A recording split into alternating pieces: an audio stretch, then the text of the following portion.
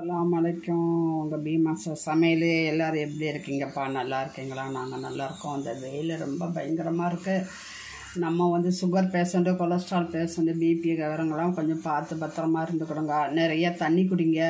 வெளியே அதிகமாக போகாதீங்க. இப்போ வந்து நம்ம ஒரு பைனாப்பிள் பச்சடி செய்ய போகிறோம் எப்படி வாங்க பார்க்கலாம். பைனாப்பிள் பச்சடிக்கு தேங்காய் எண்ணெய் ஊற்றலாங்க ஒரு ஸ்பூன் போதும். இந்த பாட்டிலில் எண்ணெய் காலி. ஒரு ஸ்பூன் ஊற்றினா போதும். தேங்காய் எண்ணெயில் செஞ்சால் நல்லா வாசனையாக சூப்பராக இருக்குங்க. அவ்வளோதான் கேரளா எண்ணெய் கால் இனிமேல் நாங்கள் எல்லோரும் ஊருக்கு போகிறப்ப ஊருக்கு போயிட்டு வரோம். ஊரில் இருந்து தான் எண்ணெயெல்லாம் வாங்கிட்டு வந்தோம். நல்லா சுத்தமான செக்கெண்ணெய் இருக்குது இப்போ வந்து ஒரு கால் ஸ்பூன் கடுகு போட்டேன். கடுகு புரியுது. சின்ன வெங்காயம் பொடி பொடியாக நறுக்கி வச்சுருக்கேன். அது போட்டிருக்கேன். கொஞ்சம் மெரூன் கலரில் வரட்டும். அப்போ தான் இது நல்லாயிருக்கும். நம்ம வந்து வெயில் காலம் கண்ணாடி அடுப்பு வச்சுருக்க ஸ்டவ் வச்சிருக்கப்பட்டாங்க காஞ்ச மிளகா போட்டப்பா வச்சிருக்கப்பட்டாங்க பக்கத்து பக்கத்து அடுப்பாக பற்றாதீங்க ஹீட்டில் அது வெடித்தா கூட வெடிச்சிரும் கருவேப்பிலை. நான் வந்து மூணு அடுப்பு வச்சுருக்கேன் நானும் அப்படி தான் பற்றுவேன் இப்போ நான் பற்றுறதில்ல முழு பைனாப்பிள் வாங்கி இப்படி கட் பண்ணி பொடி பொடியாக கட் பண்ணி வச்சுருக்காங்க. அதான் இப்போ போடணும்.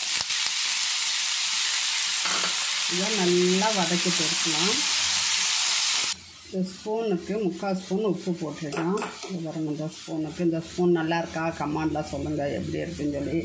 Gold colour spoon. இப்போ இது நல்லா வதங்கிட்டே இருக்கட்டும் இப்போ வந்து நம்ம தேங்காய் ஜீரகம் பச்சை மிளகாவும் அரைக்க போகிறோம் ஒரு பச்சை மிளகா போட போகிறோம் மிக்ஸி ஜாரில் பாருங்கள் ரெண்டாக உடச்சி போட்டேன். இப்படி ஒரு கை தேங்காய்.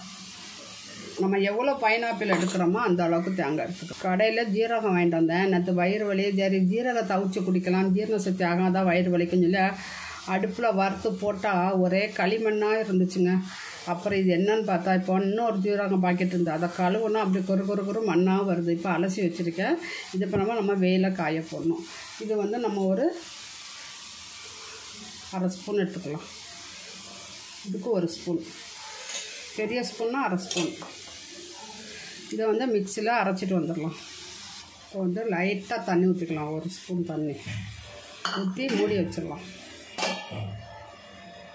தேங்காய் பச்சை மிளகாய் ஜீரகம் அரைச்சது. ஊற்றிட்டோமா இதை கூட கொஞ்சம் மிளகாத்தூள். தேங்காய் வந்து நல்லா குறை குறைன்னு அரைச்சிக்கிடுங்க. இங்கே பாருங்கள் குறை குறைன்னு அரைச்சிக்கிடுங்க. கொஞ்சோண்டு கால் ஸ்பூன் மிளகாத்தூள். அவ்வளோதாங்க உப்பு போட்டிருக்கோம். தாளிச்சிட்டோம் சின்ன வெங்காயம் போட்டு. இப்போ இது கொஞ்சம் நல்லா மசாலாலாம் வேகட்டும். லைட்டாக மிக்ஸி ஜாரையும் கழுவி ஊற்றியாச்சு இப்போ வந்து இந்த பச்சடி வந்து எப்படி இருக்குன்னு வாயில் வச்சு பார்க்கலாம். உப்பு கம்மியாக இருக்க மாதிரி இருக்குது கொஞ்சோண்டு உப்பு போட்டுக்கலாம்.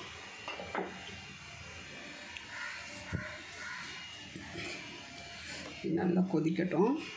பச்சை மசாலாலாம் போயிடுச்சு. இப்போ வந்து தயிர் ஊற்றலாம் ஒரு ரெண்டு ஸ்பூன் தயிர்.